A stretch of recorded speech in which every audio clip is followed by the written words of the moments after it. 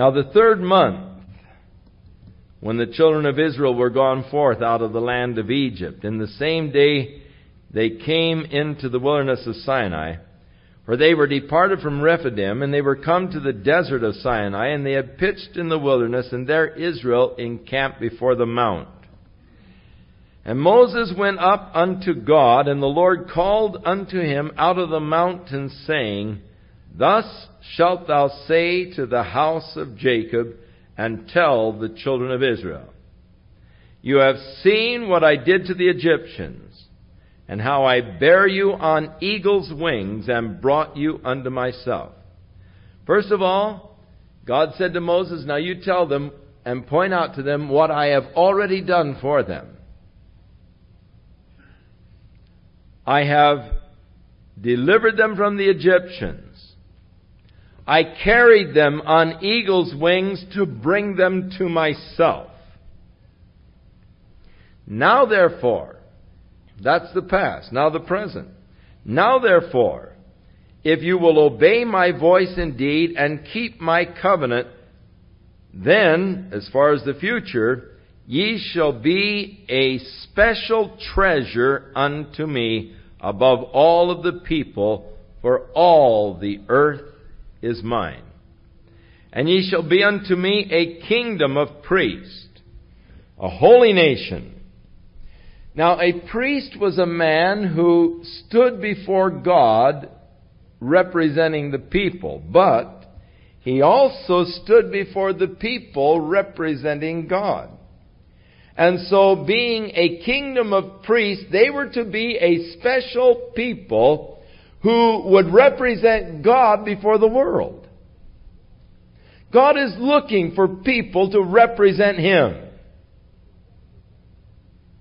And so, in a priestly kind of a ministry, in representing God before the world, Israel was to be God's representative to the world. That was God's desire and intention for these people, that they might represent Him to the world. A kingdom of priests. A holy nation. Now, these are the words God said that you shall speak to the children of Israel. So Moses came and he called for the elders of the people and he laid before their faces all these words which the Lord commanded him. And the people answered together and said, All that the Lord hath spoken we will do. What a rash promise. And Moses returned the words of the people unto the Lord. Now at this point, Moses was a priest. That is, he was going before God speaking for the people, and then he was coming to the people and speaking for God. Christ has become our great high priest. He represents us to the Father, and he represents the Father to us. He's our great high priest. So there is one mediator between God and man, the man Christ Jesus, our great high priest. But Moses was the priest, and in the Old Testament, this was always the purpose of the priest to represent the people to God, to go into God, speak for the people, and then come to the people and speak for God. And so here's Moses operating in that whole uh, concept of priesthood. And so he goes back to God and he says, Hey, they said they'll, they'll buy it. Everything you say, they'll do. All that the Lord has spoken, we will do.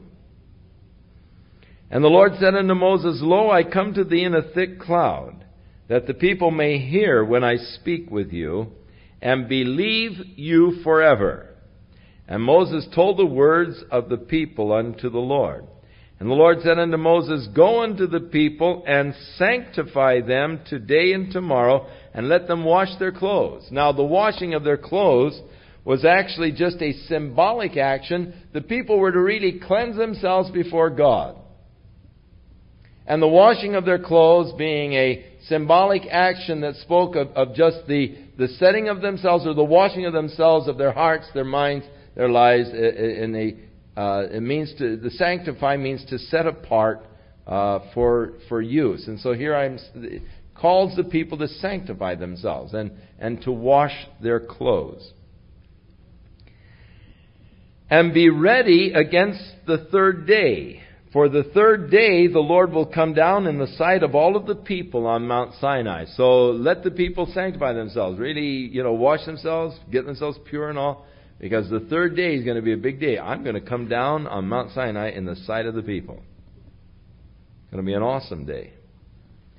And thou shalt set bounds unto the people round about, saying, Take heed to yourselves that you go not up into the mount or touch the border of it, for whosoever touches the mount shall surely be put to death. And there shall not a hand touch it, but he shall surely be stoned or shot through, whether it be beast or man, it shall not live. When the trumpet sounds long, they shall come up to the mount. And Moses went down from the mount to the people, and he sanctified the people, and they washed their clothes. And he said unto the people, Be ready against the third day, and come not at your wives. In other words, they were to refrain from sexual relations. Uh, they were just to really set themselves aside for God for these three days.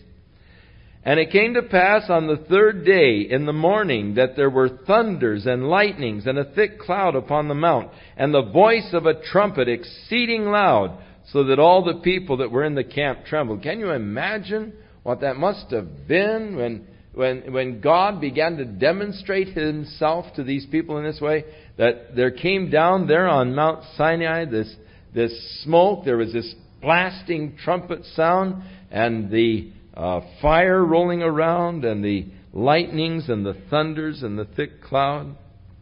And Moses brought forth the people out of the camp to meet with God, and they stood uh, at the nether part of the mountain, or away from the mountain. And Mount Sinai was altogether on a smoke, because the Lord descended upon it in fire, and the smoke thereof ascended as the smoke of a furnace, while the mount shook greatly. So the mountain was shaking violently, the smoke was ascending like a furnace, and there was this great blast like a trumpet. And when the voice of the trumpet sounded long and waxed louder and louder, Moses spake, and God answered him by a voice. And the Lord came down upon Mount Sinai on the top of the mount, and the Lord called Moses up to the mount, to the top of the mount, and Moses went up. And the Lord said unto Moses, Go down and charge the people, lest they break through unto the Lord to gaze, and many of them perish. And let the priests also which come near to the Lord sanctify themselves, lest the Lord break forth upon them. Now, Verse 22 indicates that perhaps some of the priests thought, well, we don't have to sanctify ourselves. That's the common people. And some of the priests apparently didn't sanctify themselves. And in the book of Hebrews, we read where, where some of the priests on this day died. And so uh, Moses uh, is, is told to tell the priests that they're not excluded from this a lot of times people think, well, I'm so holy, you know, and I'm above the general rules, and and I'm some kind of God makes some kind of a special concession for me, but such is not the case. Uh, verse 25 of Hebrews 12: See that you refuse not him that speaks, for if they escape not who refused him that spake on earth, much more shall not we escape if we turn away from him that speaks from heaven, whose voice then shook the earth. But now he has promised, saying, Yet once more, I'll shake not the earth only, but heaven. So in Hebrews, referring to this, speaks of some who perished. And so evidently some of the priests. And the priests also, which come near to the Lord, let them sanctify themselves, lest the Lord break forth on them. And Moses said unto the Lord, the people cannot come up to the Mount Sinai, for thou chargest us, saying, Set bounds about the mount and sanctify it. And the Lord said unto him, Away, get down, and you shall come up, you and Aaron with you, but let not the priest or the people break through to come up to the Lord, lest he break forth upon them. So Moses went down unto them, and the people, and he spake unto them. And God spake these words, saying, Now the people said, All that the Lord commands we will do. All right, this is what the Lord has spoken now. These are the commandments of God. I am the Lord thy God, which have brought thee out of the land of Egypt and out of the house of bondage. Thou shalt have no other gods before me. First of all, I am Jehovah, thy God. The word Jehovah is a beautiful word. It is a verb which means the becoming one. A word by which God expresses himself and that which, in, in that which he desires to be to his people. God wishes to become to you whatever your need might be.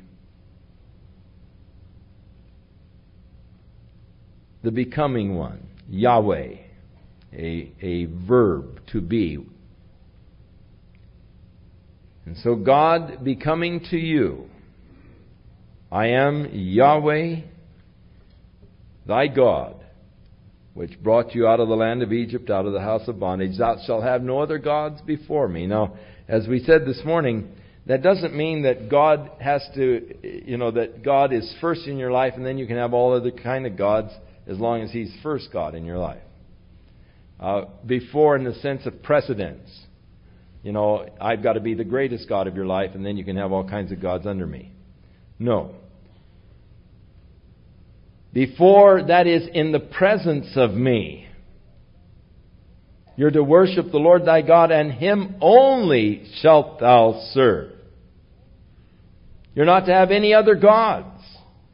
He is to be the exclusive God of your life. You shall have no other gods in the presence of me, before me. Thou shalt not make unto thee any graven image, or any likeness of anything that is in heaven above, or in the earth beneath, or that is in the water under the earth. Thou shalt not bow down thyself to them, nor serve them, for I, the Lord thy God, am a jealous God, visiting the iniquity of the fathers upon the children to the third and fourth generation of them that hate me, and showing mercy unto the thousands of them that love me and keep my commandments. So the prohibition of making graven images, and it goes actually of any likeness of anything that is in heaven above, which would include then the angelic beings, or that is in the earth beneath, or that is in the water under the earth, whatever those creatures might look like. Thou shalt not make them, thou shalt not bow down thyself to them. Now, men, as we pointed out this morning, have always been guilty of making their own gods. Man is conscious of God. The heavens declare the glory of God, the earth showeth forth his handiwork, and there is a universal consciousness of God in every culture of man. Concepts, ideas of God exist. Now, many men have been guilty of making their own gods. And a man, when he makes his own God, usually starts out with this premise If I were God, this is what I would be. This is what I would do. This is how I would respond. This is how I would react. And so the Greeks made their own gods. And in your Greek mythology, you have their concepts of God, which are really an expression of what they would be if they were God. Now, some fellow having been in love with a girl and another suitor won her away from him, if I were God, hmm. You know, I could live up there and I could bring magic potions and I could use my powers and then she would be mine instead of his. And so you have your gods that are intertwining themselves in the love affairs of man and, and all of these kind of things because if I were God, I would use these powers for an advantage in my relationship with men. And, and thus you find that is sort of a basis of your Greek mythology. Men creating their own gods. When a man makes a God, he actually makes the God like himself. A man's God is usually a projection of himself. A man is oftentimes worshiping himself, a projection of himself, And that is what he is worshiping. Most generally, when a man rejects the true and the living God, his God is just a projection of himself. This is why I sort of cringe whenever anybody comes up to me and says, Well, I don't know why God would do this. What they are saying is, if I were God, I wouldn't do that. I could sure figure out a better way of doing it than this way. And that person is close to creating his own God. If I were God, this is what I would do. If I were God, this is how I would respond. And if God doesn't respond the way I would respond, then I get angry and I say, well, you know, I can't understand why God did that, you know, or why God allowed that. As though God is, has made a real blunder. He really goofed on this one. I don't know how God can be so stupid, you know, is really what you're saying. I can see so much better than that. I could work it out in such a much better way. Oh, if I were only God, what I could do.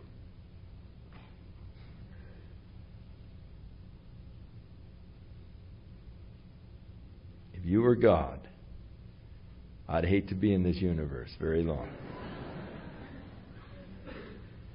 When Job and his friends were talking about God, well, God is this, and if I were God, that, you know, and, and they were giving all their ideas about what God was and what God was doing and so forth, which were projections of their own selves, their own concepts, putting them in the mind of God, sort of. When God came on the scene, after these guys had all expressed their concepts of, of God and how God works, etc., when God came on the scene, said, All right, Job, gird yourself like a man. You've been talking about things that you really don't know anything about. I'm going to ask you a few questions. First of all, Job, where were you when I laid the foundations of the earth? Tell me if you think you know so much. How would you like to guide Arcturus through the sky. How would you like to guide Arcturus through the sky? Arcturus is known as the runaway star. Its speed is estimated at 115 miles a second. How would you like the job of guiding that big old thing through the sky? Wheeling that thing around at that kind of a speed.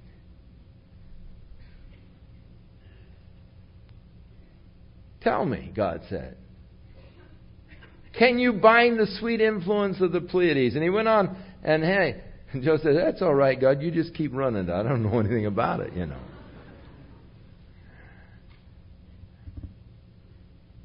Yes, we'd have a difficult time running this universe, I'll tell you. We have a, enough problems just running our own lives. So man makes a God like himself but then he often makes the God less than himself. As David points out, the gods of the heathen are vain. They cut them out of the forest. Eyes they have, but they cannot see. Ears they have, but they cannot hear. Feet they have, but they cannot walk. Mouths they have, but they cannot speak. So a man made a God like himself. He carved his God out of a piece of tree limb sat there day after day carving out his little God. He carved ears on his little God. He carved eyes on his little God. He carved a nose on his little God. He carved a mouth. He carved feet. But the thing is, the eyes that he carved on his little God can't see. The ears that he carved on his little God can't hear. The mouth that he carved on his little God can't speak. So a man made a God. He made him like himself because I have ears, I put ears on my God. Because I have a mouth, I put a mouth on my God. Because I have feet, I put a feet on my God. But though I made him like myself, I made him less than myself. Because the feet I put on my little God can't walk. Thus he is less than I am. His eyes can't see. Thus he is less than I am. And then David said, They that have made them have become like the gods they have made. In other words, a man becomes like his God, and if you make a God less than yourself, you are being degraded, you're on the road down, you are becoming less than what you were. If your God can't see, you soon become blind to the things of God. If you can't if your God can't hear, you soon become deaf to the voice of God. You become insensate as your God is insensate. That's the danger of making gods. You become like them, but yet they are less than yourself. So God strictly prohibited trying to make any likeness or representation of himself. Now, in the light of that, why is it that in the church we have statues of, statues of Jesus Christ? Or even pictures, which constitutes a likeness. What is a man signifying when he makes an idol? He is signifying the loss of the consciousness of the presence of God in his life. Whenever I make an idol, a reminder,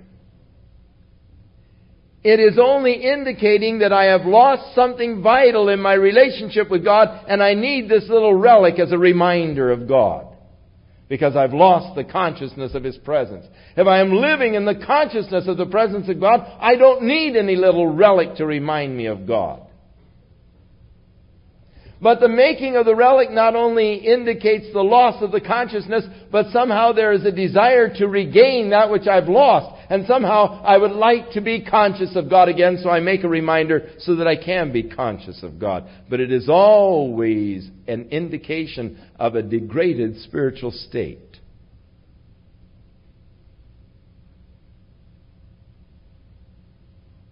Now, people can make idols out of many different things. The place in the church where I was sitting, when I came into the consciousness of God, oh, and you'd be amazed how many people come back and they sit in that same place trying to regain that which was lost. At that place where I was sitting here, right in the spot, when I really became conscious of the presence of God, oh, it was so glorious. I just, oh, you know, and, and so you'll return and try to duplicate a past experience of God's consciousness, thinking that it relates to a place. Well, I was wearing those shoes. so you dig around and find the old shoes again, you know. As I was wearing these shoes when I became aware of the presence of God and all. Hey, you've lost something, friend. Paul the Apostle said, In Him we live, we move, we have our being. God is here. God is with you. You've lost the consciousness. Not that He's not with you, you've just lost the consciousness of His presence with you. And thus you're looking for something that will somehow remind or bring back that experience of the past. But God has new experiences for you.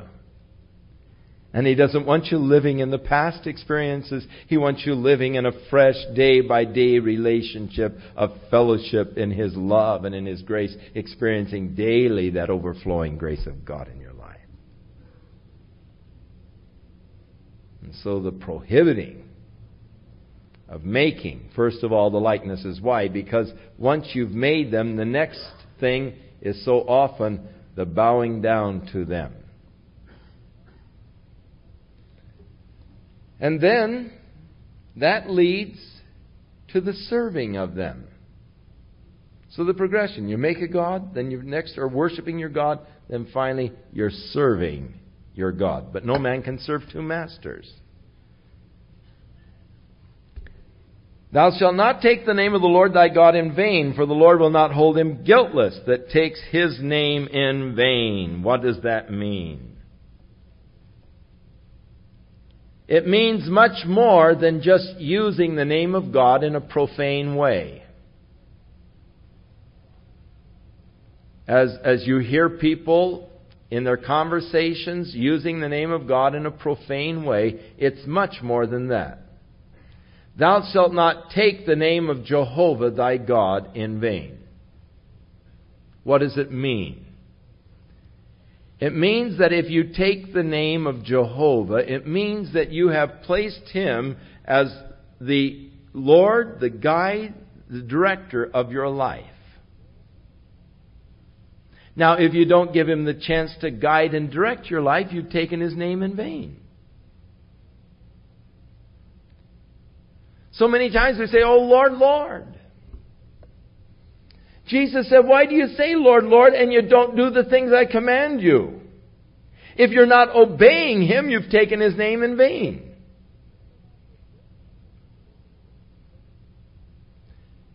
Thus, the greatest blasphemy is not that which you hear on Skid Row, but the greatest blasphemy is that of those who make an acknowledgement of God in their words and maybe even in their deeds by attending church and so forth, and yet God doesn't have a place in their daily life through the week. You never give God a place. You never give God a chance. You never open up your life to God during the week. It's just a Sunday relationship with Him. That is taking the name of the Lord your God in vain. That's the greatest blasphemy.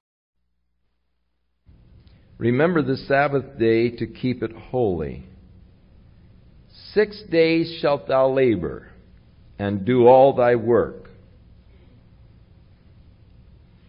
Therefore, if you're on a five day week, you're unscriptural. If you want to really, you know, be tight to the law.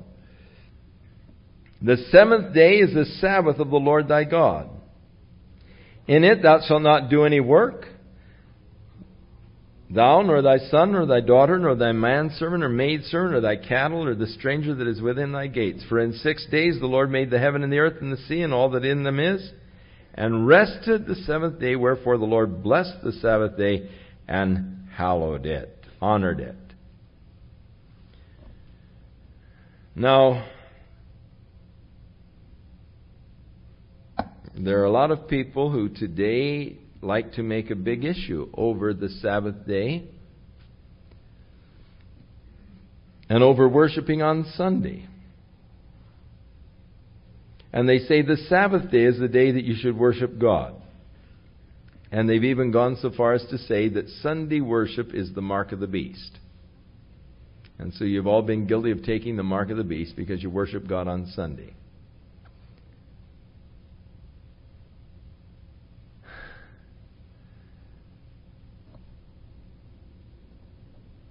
Let me say that first of all, I worship God every day of the week. As far as I'm concerned, every day of the week is a great day to worship God. I do believe that for man's sake, God established a pattern of six and one.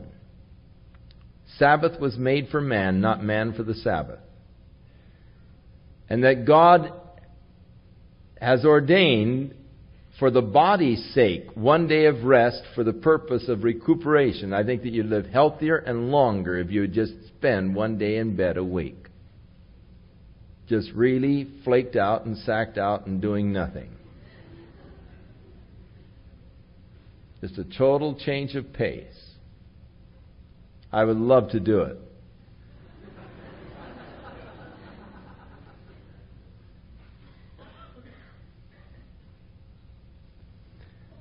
But this particular law was a special law to the people of Israel, as is declared in the 31st chapter of Exodus, verses 16 and 17.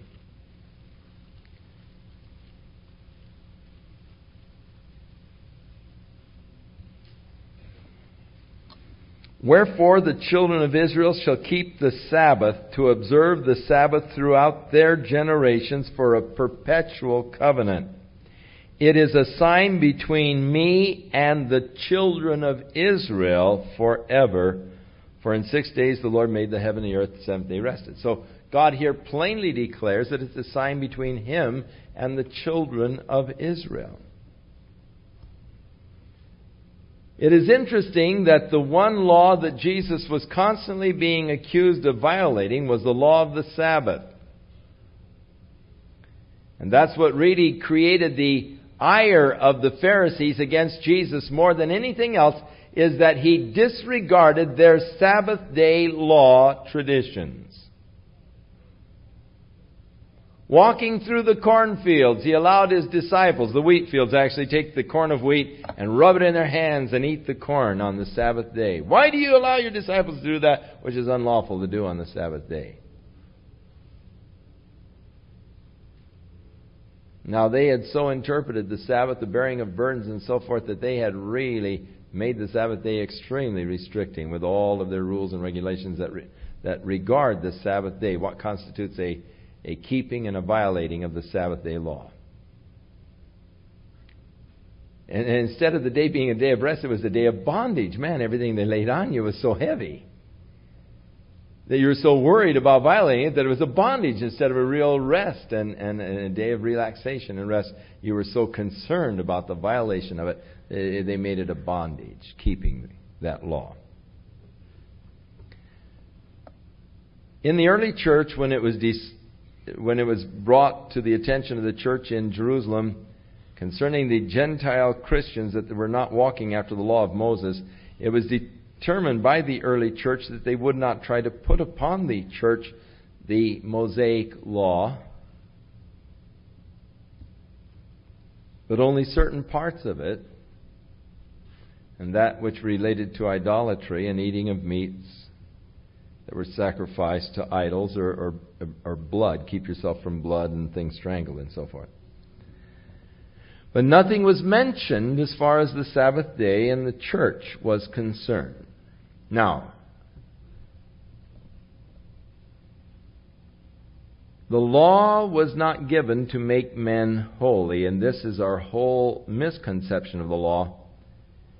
And that is the idea of the keeping of the law will make me holy. If righteousness could come by the law, then Christ died in vain. If you could keep these Ten Commandments and by keeping them be righteous, then Jesus wouldn't need to die. If God could take and impute righteousness to you because you kept every one of these commandments in your heart faithfully and completely, then there is no necessity for Jesus Christ. But righteousness could not come by the law even if you kept it. Righteousness comes through faith in Jesus Christ. Now, God related to these people, the covenant of God was related to their obedience. If they will obey, and their obedience was the uh, to the law of God was the condition upon which they could relate to God. But this old covenant failed. And it failed because of man's weakness and man's failure. Man was incapable of obeying. Therefore, God has established a new covenant that isn't predicated upon man's faithfulness, but the new covenant is predicated upon God's faithfulness the faithfulness of God to keep His word. The first covenant, man's faithfulness to keep God's word. First covenant failed. Man wasn't faithful. The second covenant that God has established through Jesus Christ is a covenant that God has now established which is predicated upon the faithfulness of God to keep His word and His covenant shall always stand with us because God will keep His word. And my believing that God will keep His word. So to him that worketh not but believeth, God imputes that faith for righteousness. Now, does that mean then that I have no relationship to the law at all? I can live however I want. I can violate any of these commandments I want and still have fellowship with God? God forbid. How can we who are dead to sin live any longer therein? But it means that God now gives to me the new power of His Holy Spirit within my life whereby I am enabled to be what God wants me to be. The fifth commandment, some people put with the first table. They say that it belongs in the first table. Uh, honor thy father and thy mother because you are not to consider your father and mother on an equal, but always on a superior basis, even as God is always thought upon in a superior basis. And thus, they say it belongs in the first five uh, words of the law instead of the second six. Uh, and so they have divided the law into two categories of five and five. I don't argue with that. You know, foolish. What difference does it make? It's all part of the ten. Thou shalt not kill. Thou shalt not commit adultery. Thou shalt not steal. Thou shalt not bear false witness against thy neighbor. Thou shalt not covet thy neighbor's house.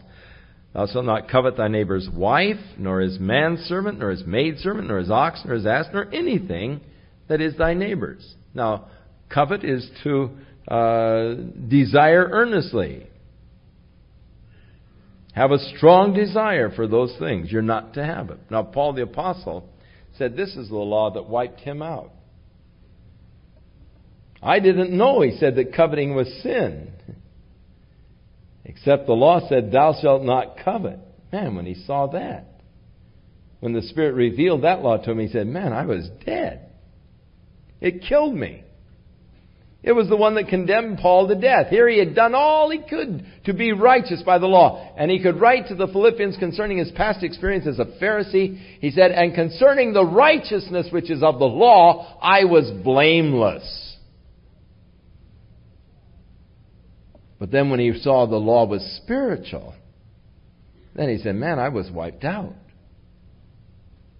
I was dead. The law destroyed me. Now, that was the whole basis of the teaching of Christ, and that is that the law is spiritual.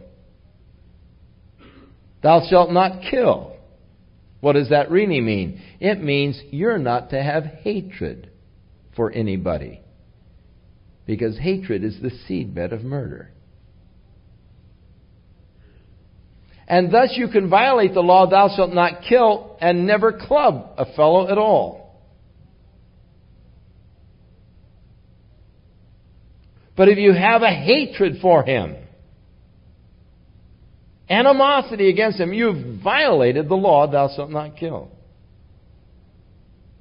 Now, the law was intended as a schoolmaster to drive us to Jesus Christ, to make us realize that we were spiritually bankrupt,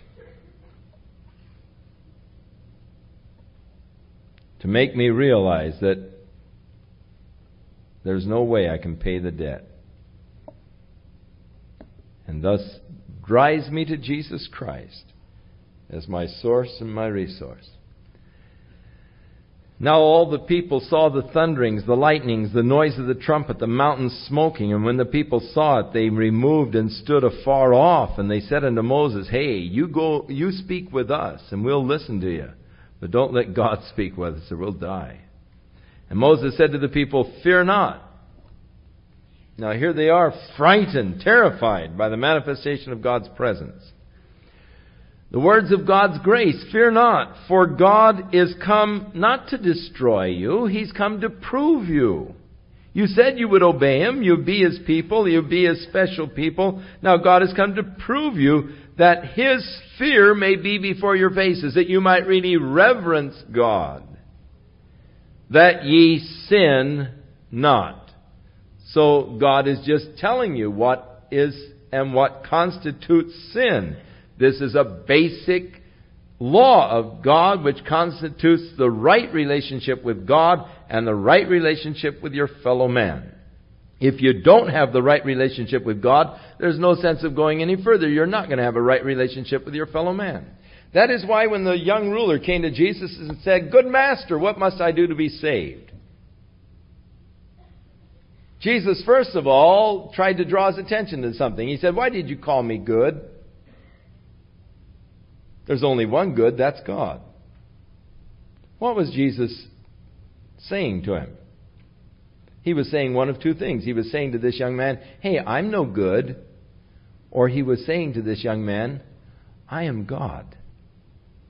And he's trying to point out to the young man that he recognized in Jesus something that was truth.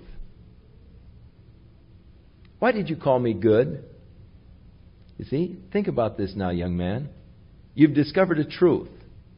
When you came to me, you called me good. Why did you do that? Because you see, you've recognized a truth. I am God. Why did you call me good? There's only one good, that's God. That gives you a hint why you call me good. We, we, we misinterpret that. We think, think Jesus is saying to the young man, Why did you call me good? I'm no good.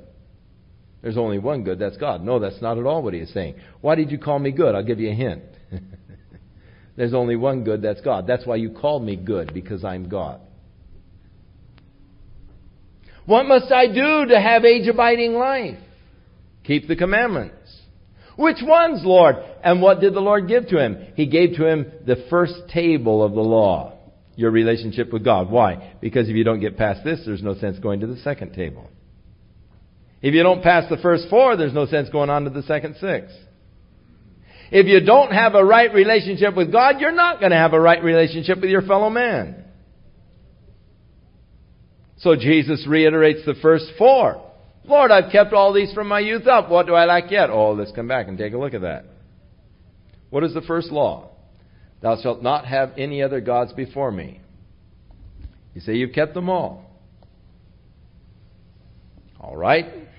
Go out and sell everything that you have. And take the money and give to the poor and come and follow me. You'll have great treasures in heaven. What was Jesus doing? He was pointing out the folly of what the man had said. The first law, thou shalt have no other gods before me, was a law that he was breaking because he had his possessions as a God in his life. They were his God, and they were before. They were there in the presence of his worship of God. Lord, I've kept this law from my youth up. What do I lack yet? Oh, wait a minute. You haven't kept it from your youth up. You only say you have. But in reality, you have a God in your life that is possessing you, and it is even stronger and has a greater hold than I have upon you. Your desire for it is greater than your desire for me. Be careful what you say to Jesus. He's liable to put you on an examination.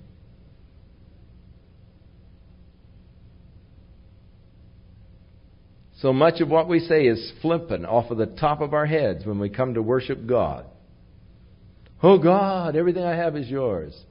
Oh, that's wonderful. Now, if you'll just sell this and this and, you know, oh, no, Lord, I really didn't mean that. You know, that's just a figure of speech.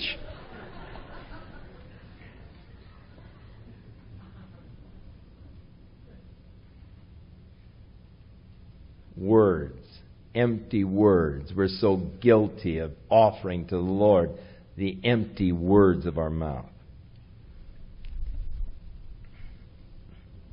Rend your hearts, not your garments, unto God.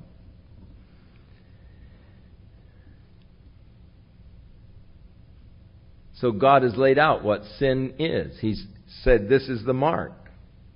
And so I've given you the law that you might know what sin is, that you will sin not. The people stood afar off, and Moses drew near unto the thick darkness where God was. And the Lord said unto Moses, Thus shalt thou say to the children of Israel, You have seen that I have talked with you from heaven. You shall not make with me gods of silver, neither shall you make unto you gods of gold. An altar of earth thou shalt make unto me, and shalt sacrifice thereon burnt offerings. Hey. Notice, the Lord is not even wanting them to build ornate altars. And if you have a, st- make an altar of earth to make your sacrifice. Just pile up dirt for your altar. And if you use stone, don't bring a chisel on it. Because if you put a chisel on it, you're going to defile it. God doesn't want anything to distract from Him. Not even a glorious, fancy altar. He doesn't want man glorying in the works of his own hands. God, help us in the church today. You go into so many churches, where you've got the fancy work of man's hands, the ornate altars, the ornate buildings and all, and God cannot be pleased with them. God said, hey, be simple. Build an altar out of earth. That's good enough. And if you make it out of stones, then don't carve on the stones. Don't chisel on them. If you put a chisel on it, you're going to defile it. Leave it natural. The naturalness whereby man's work of his hands is not glorified. When we come to worship God, only God is glorified. We don't glorify the works of man's hands. We don't say, oh my, this lovely sanctuary built by the hands of men. This glorious golden altar built by the hands of men.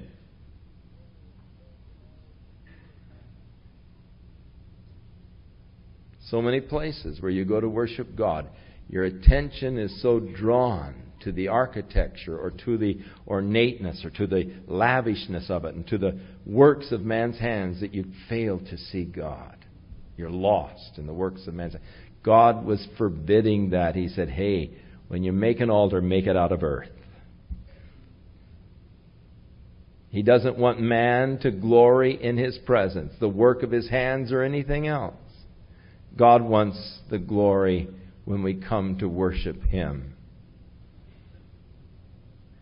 He wants all the glory. And God, help that man who seeks to bring glory and attention to himself while doing the service of God. The altar of earth thou shalt make unto me, and shalt sacrifice thereon thy burnt offerings and thy peace offerings, thy sheep, thy oxen. In all places where I record my name, I will come unto thee, and I will bless thee. And if you will make me an altar of stone, thou shalt not build it of hewn stone, for if you lift up your tool on it, you have polluted it. Neither shalt thou go up by the steps to my altar, that thy nakedness be not discovered thereon. In other words, don't go up steps and high where people can look up and see your bare legs or something. God just doesn't want attention drawn to anything but Him when we are worshiping God. He wants your heart and your mind to be centered upon Him, not to be distracted. That is why we seek to keep distractions here to a minimum. We don't want anything that draws attention to man. We want our attention be, to be drawn to the Word of God and to God Himself when we gather together to worship Him. For God forbid that any flesh should glory in His sight.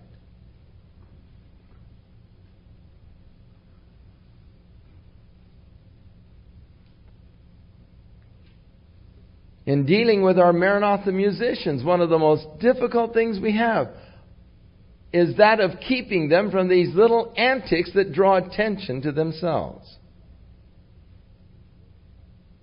Even a special movement as you're playing the bass, you know.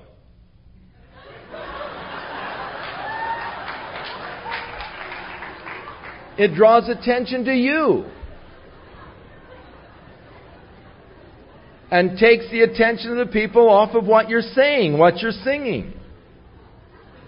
Oh man, look at him, you know. Really swings, you know. Really grooving, isn't he, you know. And, and, and that subtle little way that we have of drawing attention to ourselves but the minute I draw attention to me, then the person's attention is taken off of God, and I am robbing God of that which is His. And God will hold me accountable for it. And thus, serving the Lord is always a very fine balance.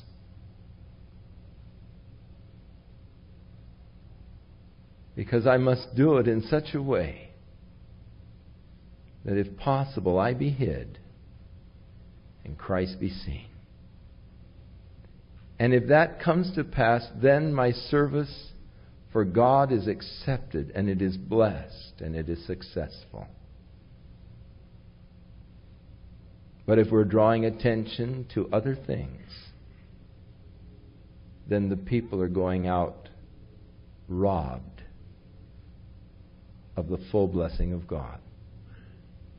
Tragically so. Next week, we'll take the next five chapters. Father, we thank you tonight for thy word, a lamp unto our feet, a light unto our path. And Lord, we thank you for your law, the standards that you have given to us. And Lord, we delight after thy law. We consent to thy law. We desire to fulfill thy law.